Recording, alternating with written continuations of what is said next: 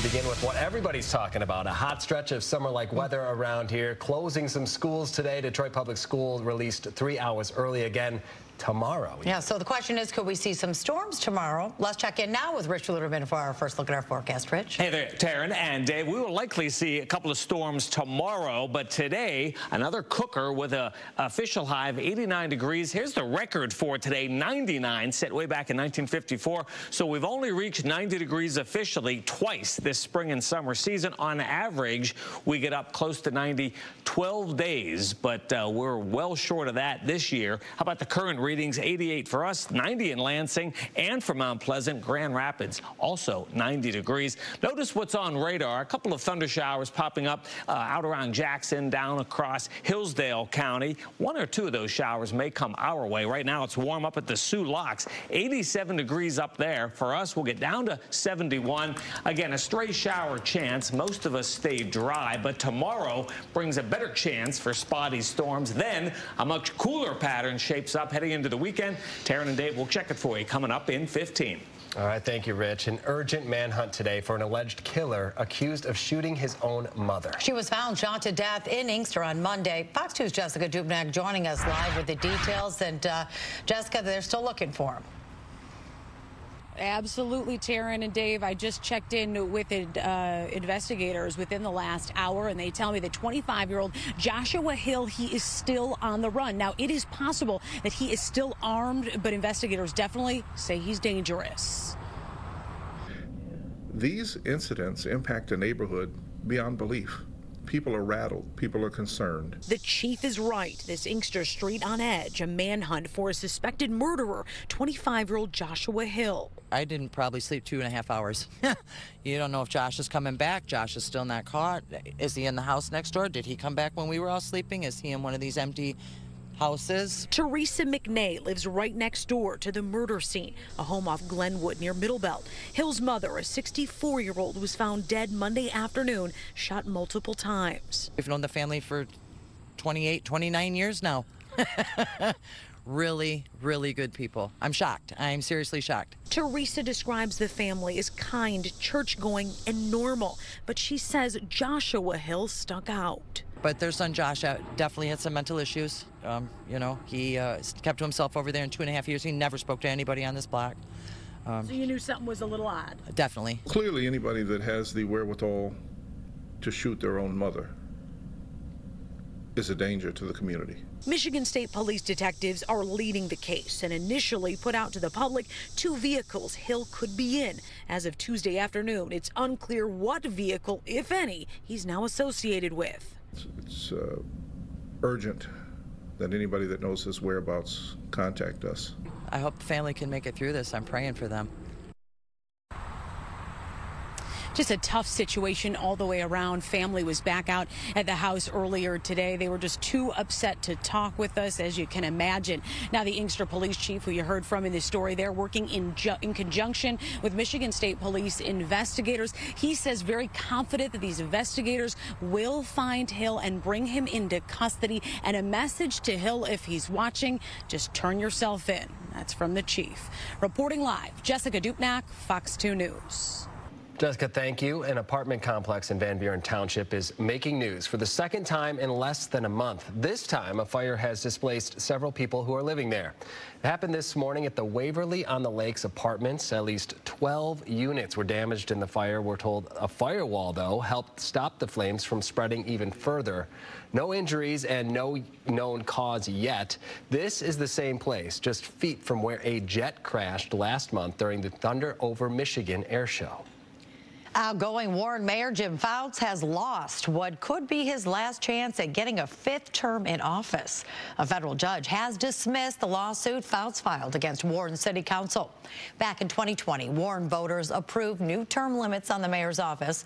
Fouts argued his civil rights were violated and asked the court to decertify the election and put him back on the ballot. Warren voters will choose a new mayor in November's general election. And speaking of elections, another name is being added to the list of potential candidates for governor in 2026. And if you've ever had a Michigan driver's license, you'll probably recognize the name. Tim Skubick has the report you are seeing first on Fox 2.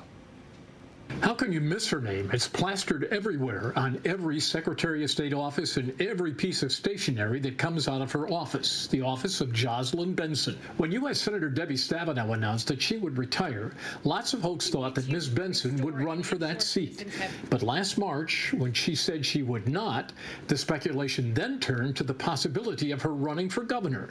In fact, there were reports last December, eight months ago, that she privately was telling close friends she indeed would run for governor. But when it came to the news media, Ms. Benson has been playing cat and mouse on wanting to be governor. So when she showed up at the governor's speech last week in our town, it was time to nail down this story with a backdoor approach to her possible bid for governor. Say to me you do not want to run for governor. I have not said that. I'm asking you to tell me um, that. Oh, I, why would I say that? Because it's not true.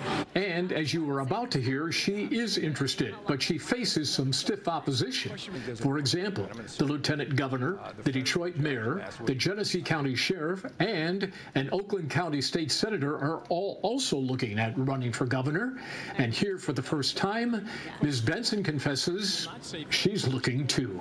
I'm looking at running for governor in the future. A lot of people have talked to me about it. I mean, I have I, I go to many events and people come up to me and ask me to run, encourage me to run, and it is something that I'll look at closely with my family. But first things first, she needs to run a trouble-free 2024 election, and if she does not, that could damage her bid to be governor. She makes that very clear while making this promise about her decision. Will you call me first when you make the decision? How about that? I will call you first when I make the decision, but it will not be until after the 2024 election cycle. That's a deal. In Lansing, Tim Skubick, Fox 2 News. We'll talk that. Can you believe it? Two days to go until the Lions kick off the new season against the Super Bowl champs in Kansas City. And we know it's so much buzz around this team. Fox 2 sports director Dan Miller here spoke one-on-one with the team owner, Sheila Hamp, about why these are not the same old Lions. Yeah, and that's the idea, guys. As the season opener gets closer, it was great to have a chance to sit down with her today. This new regime, which has people very optimistic about the team, was a byproduct of her vision. They've rebuilt the roster and the culture within the organization under her watch. Those early days, as she, Rod Wood, Mike Disner, and ultimately Chris Spielman put things together, was one of the topics we covered today. When I think all the way back, when we didn't have a general manager, we didn't have a coach, and then our quarterback decides he wants to be traded, it was, you know, okay, I guess we can do this. this is really ground zero. but in a way, it was a great opportunity to really start over. And we worked very hard, as you know, well know. And when we found Brad and Dan, you know, and all four of us agreed these were our guys, that was that was something. And um, we were hoping that they would work well together, which of course has worked out beautifully. I mean, a bit of an arranged marriage for sure, but um, so you never really know. But we were pretty sure this was going to work, and they they work so well together. It's just actually a joy to to watch them. Having a vision is one thing, seeing it come together is another. We talked about the road ahead, but also what had to change with the team before they could find success. Our entire conversation with Sheila Hamp will air this evening on Fox 2 News at 10 o'clock. And there are a lot of layers to this, and it starts with being honest about where you are as an organization. And Sheila Hamp and the Lions front office did that before they hired anybody, and that's a big part of what's allowed them to start moving in the right direction. Still a lot of work to be done, but you get the sense for the first time in a long time the right pieces are in place. Mm -hmm. All things we'll see in our discussion later tonight. Yeah, that's just it. I mean, things have changed a lot in the past where they've reconfigured, but this one just seems to be, like she said, an arranged marriage that is working. No, that's a great point because there have been regimes in the past where you felt like there was a little bit of success, but it didn't feel like it had staying power. This time they decided they were going to do it a different way. They were going to try to piecemeal it together. They were going to take this thing down to the studs and rebuild it, and that's what they did. And that's one of the things that we talked about yeah. was whether or not that was daunting, thinking about how long that might take, yeah, and sure. does everybody have the patience for it?